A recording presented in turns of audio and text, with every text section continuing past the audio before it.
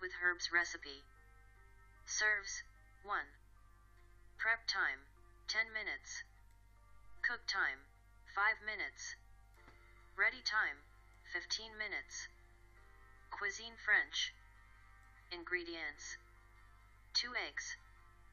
15 g slash 1 slash 2 ounce slash 1 tablespoon butter. 15 ml slash 1 tablespoon creme fraiche or soured cream. 5 ml slash 1 teaspoon chopped fresh mixed herbs, such as tarragon, chives, parsley, or marjoram. Salt and freshly ground black pepper. Instructions. Step 1.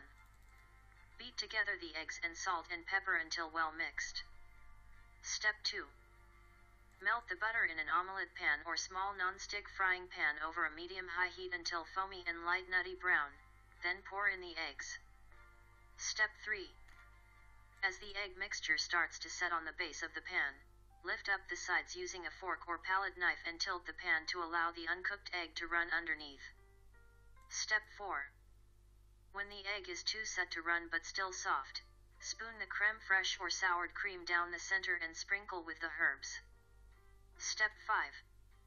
To serve the omelette, hold the pan over a warmed plate. With a fork or palette knife lift one edge of the omelette and fold it over the middle. Tilt the pan to help the omelette fold over on itself in thirds and slide it out onto the plate.